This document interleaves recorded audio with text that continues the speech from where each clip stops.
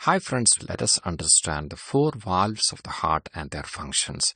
The first one is right AV valve or tricuspid valve and this is a tricuspid valve. First, let us see how blood flows through the heart to understand the functions of these valves. So, oxygen poor blood from the superior vena cava and inferior vena cava reaches the right atria of the heart. From there, the blood flows into this right ventricle. Here is the tricuspid valve. So tricuspid valve is situated between right atrium and right ventricle. It prevents the backflow of blood into the atrium during ventricular contraction.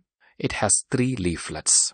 As we know that the movement of blood through heart is unidirectional that is regulated by these valves. So this is the tricuspid valve.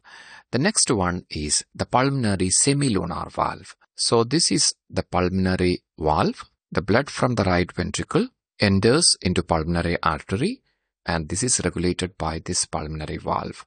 This valve is located between this right ventricle and pulmonary artery. It allows blood to pump from right ventricle into this pulmonary artery, prevents the backflow and has three leaflets. So these two valves are involved in regulating the flow of oxygen poor blood. Then the third one is left AV valve or mitral valve that is involved in regulating the flow of oxygenated blood. After oxygenation, blood enters into the pulmonary vein. Then it enters into atria, left atria. Then it moves into this left ventricle through this mitral valve or left AV valve. So this is the mitral valve. It is located between left atria and left ventricle.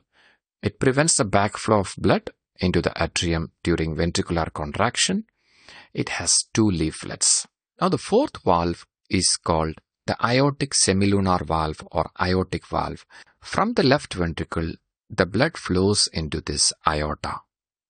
So this valve or aortic valve is situated between left ventricle and this aorta. So this is the aorta. It is responsible for regulating blood flow from heart into aorta during contraction and preventing backflow during relaxation. So this valve has three leaflets. From aorta, oxygenated blood moves into different parts of the body. Let me summarize. The four valves are tricuspid valve, pulmonary valve.